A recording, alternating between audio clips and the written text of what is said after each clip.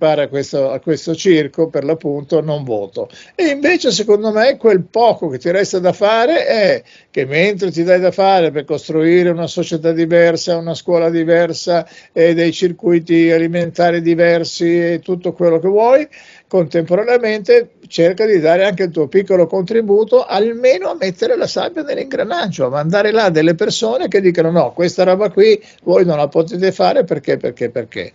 E magari parla e poi nessuno lo ascolta, però intanto una volta, due volte, tre volte io posso fare l'esempio e mi fa piacere ripeterlo che per tre anni la Commissione Medico-Scientifica Indipendente presieduta dal dottor Donzelli aveva chiesto di essere ricevuta dal CTS, dal Ministero della Sanità, anche a porte chiuse per non fare clamore, per discutere su quella che loro chiamano la medicina evidence-based, cioè basata sull'evidenza, e non è mai successo.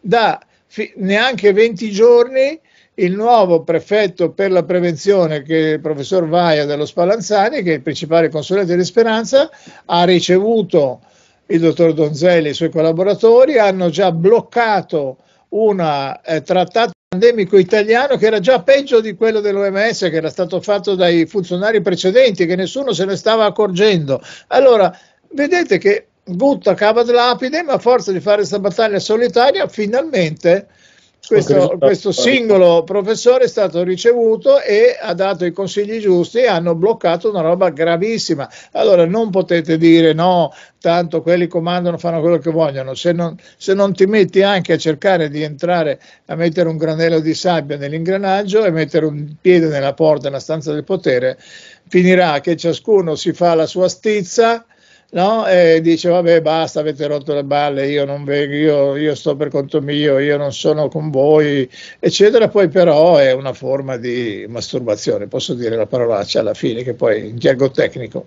Una roba sì, che nessuno ti vede nessuno ti vede e tu sei contento e, e però intanto poi faranno, quello, faranno veramente quello che vogliono se tu non sei andato a votare. Io insisto fate la fatica scegliete un candidato che vi piace e andate a votare Grazie Alberto Contri per questa serie di riflessioni importanti e eh, naturalmente eh, io invito tutti quanti quantomeno a riflettere sulle cose che eh, ci siamo detti e poi ognuno per carità farà le proprie, le proprie scelte. Grazie davvero come sempre.